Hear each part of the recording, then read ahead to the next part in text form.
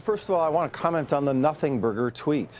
Uh, because I think President Trump is making a big mistake in going back to say that the, the Russians did not interfere in our elections.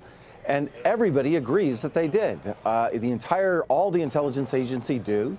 The Mr. Clapper, who he cites to say there was no collusion, is the same Mr. Clapper that says there was Russian meddling.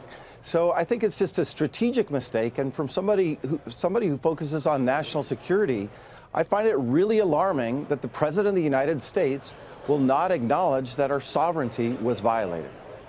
Uh, would you expect Comey to back him up today?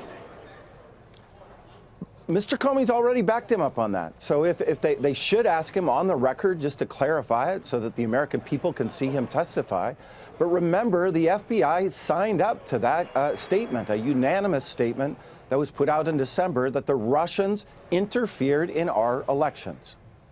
Igor, how much freedom does either Comey or Rogers have to, uh, to back him up as the ambassador suggests? Well, I think uh, what's important to understand is attribution is ultimately elusive in cyberspace. Uh, the internet is uh, an anonymous place. Uh, what we understand about cyberspace operations is that they're inherently deniable. Uh, we don't go dressing up our troops in foreign uniforms and marching them into battle.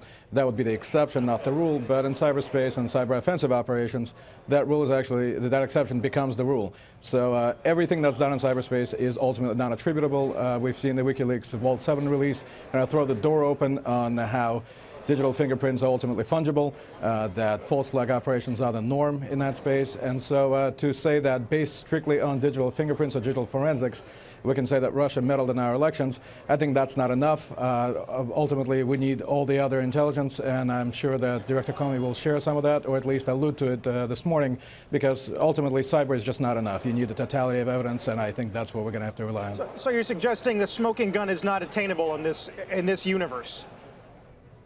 Certainly not in cyberspace. You know, as I've mentioned, uh, cyber digital fingerprints are ultimately fungible. So we've hmm. seen uh, Vault 7. I think reading it uh, throws the door open on what CIA has been doing. And let's understand that this type of capability is firmly in the hands of over 100 countries around the world that we recognize as having offensive cyber capability. So uh, we don't, really don't know uh, what they're looking at uh, in the intelligence community. I think uh, they're probably examining the totality of evidence, all the other sources. I think human intelligence is probably playing a, a piece of it, um, uh, playing a role in it. So um, I don't know that we have what we have what we have in hand today is enough to make those determinations, but hopefully the testimony this morning will uh, allude to some of it. Hey there, thanks for checking out CNBC on YouTube. Be sure to subscribe to stay up to date on all of the day's biggest stories. You can also click on any of the videos around me to watch the latest from CNBC. Thanks for watching.